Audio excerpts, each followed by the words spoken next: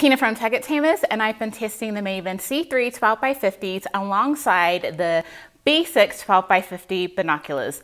Now, while I must confess that I'm a big fan of the B6s, the C3s have also won me over because it's cheaper. Yep, I said that. So I'm going to get into why the C3 12x50s still have the it factor for hunting and nighttime observation.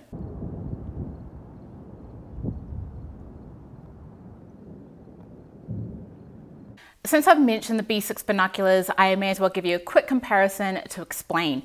The B6s are new to the B series. Not only is it a new line, it's the first of its kind with 50mm objective lenses. And they started around $1,000.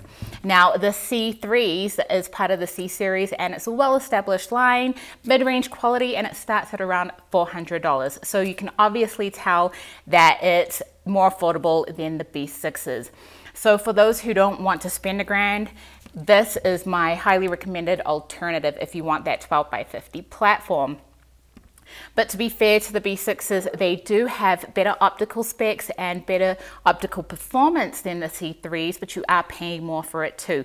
Check it out, there's a link down below where you can get more detail on the B6s. The C3 is part of the C series, so both Japanese and Chinese components and assembled in the Philippines. It has ED, extra low dispersion elements in the objective lenses. Now that's supposed to reduce chromatic aberration and improve sharpness and contrast. And on that note, the C3 is a performer, just like all its other C-series binoculars.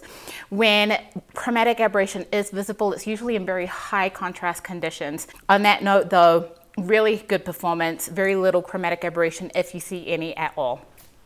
Now this is a roof prism binocular and more specifically it has Schmidt-Pechan prism so a little bit more complex to make than your standard roof prism but still absolutely in need of phase correction coatings on the uh, non-reflective surfaces in the assembly. With the phase correction coatings it makes things a lot more brighter and there's a lot less light transmission loss and not any coating will do like a silver coating it's dielectric all the way. To further protect the glass, the exterior lenses have a protective coating to keep it clean from oily fingerprint smudges, dirt, dust. It also beads up water and it keeps it easy to clean. The C3 has a polymer frame and the B6 has a magnesium frame. Now this kind of gives the C3 a little bit of an edge because it makes it slightly more lightweight, but really there is no real difference in handling of the two. Uh, the B, the C3s are a little bit more ergonomic in my opinion because it has thumb indents on the underside and the B6s do not.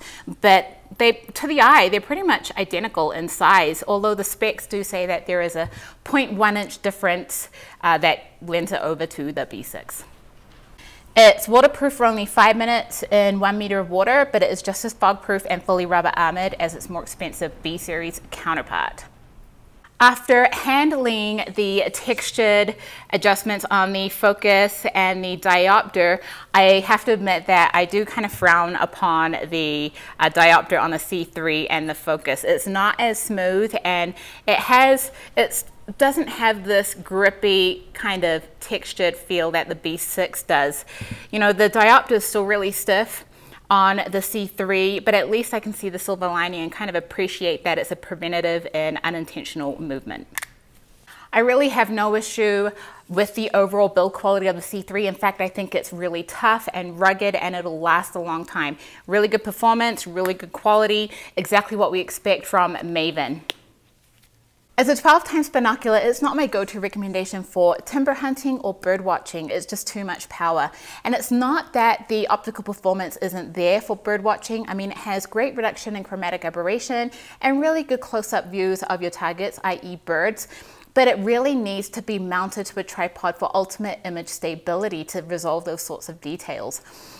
It also has quite a narrow field of view for what is considered a birding binocular with only 251 feet uh, which equates to 4.8 angular field of view. So what I do recommend it for is for open area hunting on elk, deer, sheep, coyotes, you name it. Uh, open, open fields and open plains, it's not a challenge for the C312 by 50s. It's also a real champ for uh, extended long range observation. I could see when I field tested with these, mainly at low light, low light uh, I could see elk up to 800 yards, and that was with, of course, the expected decrease in sharpness and contrast because I was losing light, but I could still see elk at 800 yards. What about for hiking and backpacking?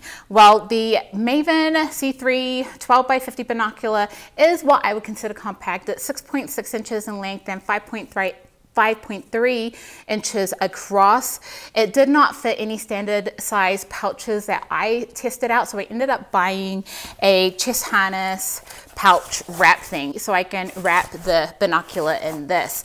Now you don't have to use a pouch. It does come with a Maven neck strap and that should be comfortable enough for reasonable amounts of time. When it came to nighttime use, I was really impressed. Lit up areas up to about 350 yards were really good to get those small details. The biggest issue I ran into was getting the image steady enough while using it freehand to get those really small details, you know, features, what people were doing. But at 100 yards, it was completely different. I could see, read license plates and people watch quite comfortably using it freehand.